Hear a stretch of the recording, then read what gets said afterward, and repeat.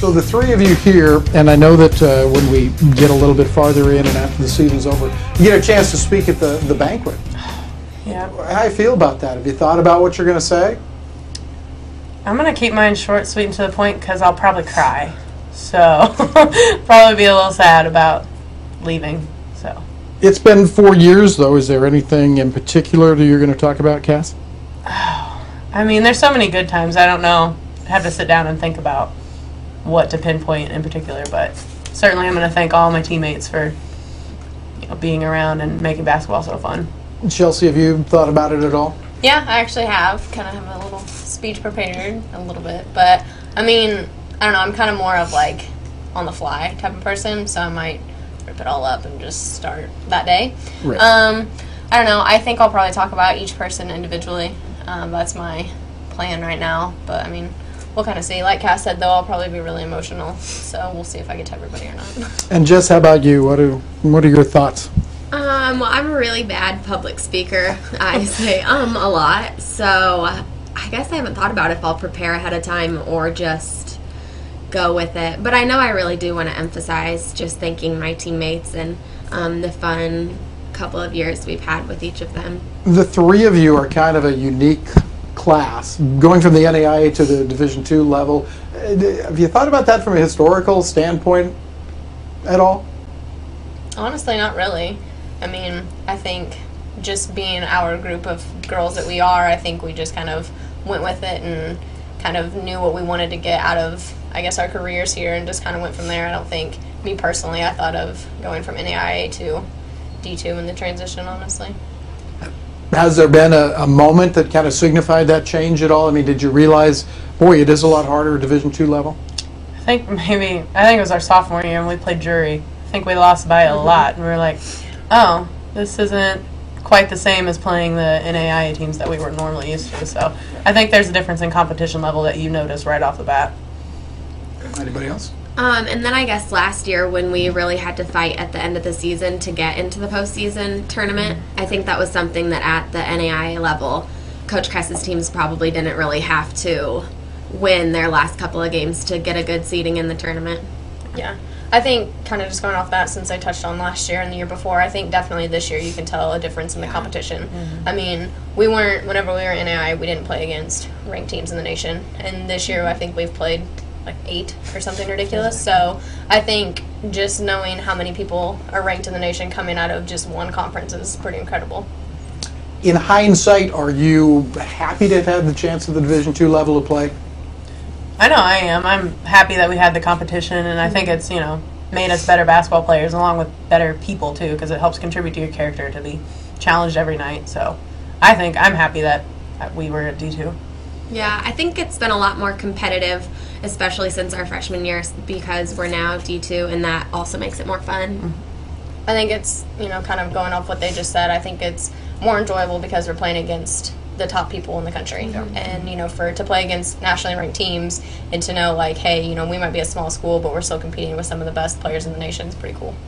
In some ways, that's frustrating, I guess, because we do have to scratch a claw to get to the, the, the tournament. How, going back to your freshman year compared to this year, uh, does that frustrate you, or, or do you kind of keep that in perspective?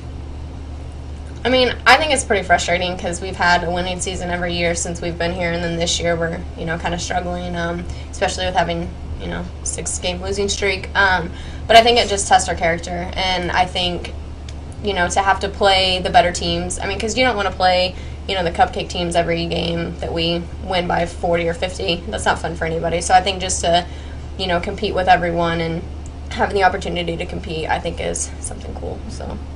Yeah, touching on that, I mean, I think it helps build our character. You know, playing challenging people every night does help build character, and like in the long run, because none of us are probably going to go to the WNBA, so it's going to help us, you know, later in life build some, you know, traits that we need in jobs. Mm-hmm.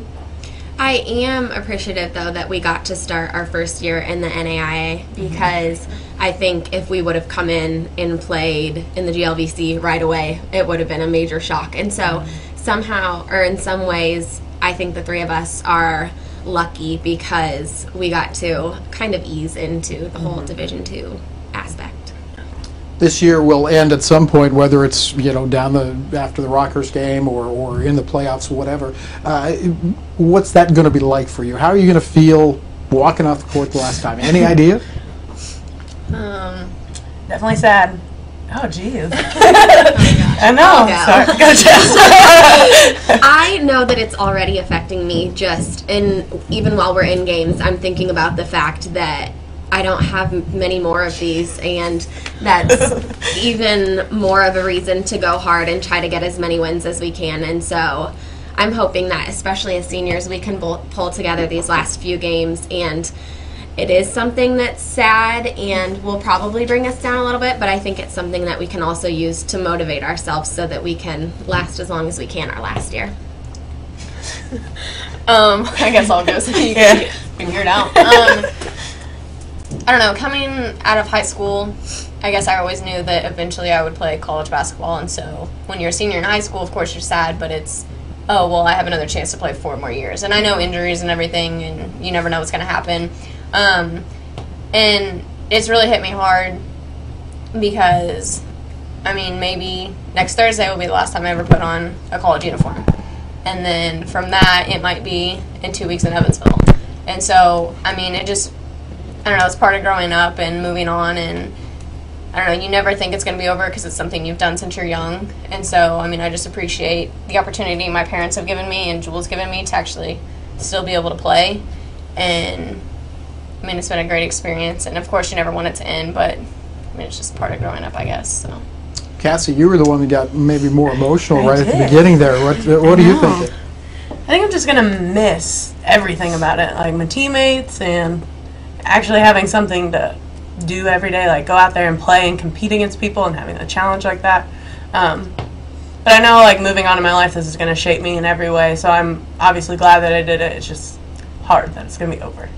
I mean, I think it's just something that no, not everyone can say they've done. You know, I mean, a lot of people play in high school, but no, not everyone gets the opportunity to play in college. And I think you create relationships and bonds with people in college that you didn't necessarily in high school. And so I think it's just a little more emotional for most people because it's something that not everyone gets to do. Yeah, and we're definitely a family, so it's sad to leave it.